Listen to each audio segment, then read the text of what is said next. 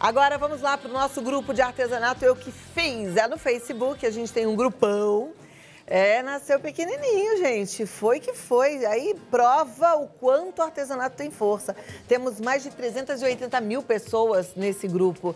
E todo mundo que está no grupo gosta de artesanato, faz artesanato. Então é um lugar legal para você trocar informações, aprender uma técnica nova, pedir uma orientação, às vezes saber onde compra um determinado produto, viu? Eu vou mostrar aqui quatro produtos que foram feitos lá pelos artesãos do grupo.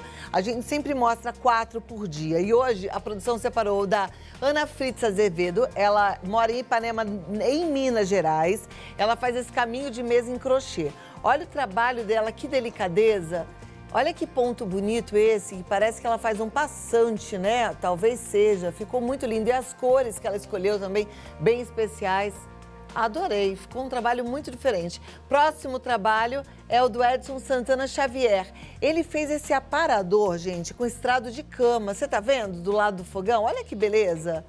Ele fez... É um móvel, né, na verdade. Ficou muito jóia, com porta-temperos. Parabéns, Edson Santana Xavier. O estrado de cama teve uma finalidade e deixou a cozinha organizada. Próximo trabalho é o da Késia Vasconcelos Lins Pereira, em Suzano.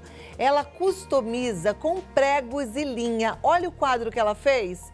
Lembrei agora do quadro que o Henrique fez também, que era assim, né, Henrique? Olha lá que bonito da Késia. Lar docilar, ficou uma graça. Esse trabalho é muito legal, dá para fazer bastante vender, hein, gente? Vamos colocar a criatividade aí para funcionar. Ela tá lá no Artes no Prego. Próximo trabalho para terminar do dia, Roseli Kainen o Keinem, de Cuiabá, no Mato Grosso. Ela faz a bolsa usando fio de malha. Eu acho o trabalho de fio de malha muito bonito. Essa bolsa tá uma graça também. Muito joia. São alguns trabalhos para te incentivar. A gente mostra todo dia aqui. Quero que você também entre no grupo. Quem sabe eu mostro o seu em breve, né? É só entrar pelo Facebook, pede para participar. Rapidinho as meninas aceitam você nesse grupo. Você posta e a gente também mostra por aqui, viu? Artesanato Tracinho Eu Que Fiz. Agora é o seguinte, você, hoje é dia 11 de janeiro, tinha decidido no ano passado que esse ano ia fazer tudo diferente, que ia se cuidar mais, que ia se amar mais, que ia prestar atenção em você?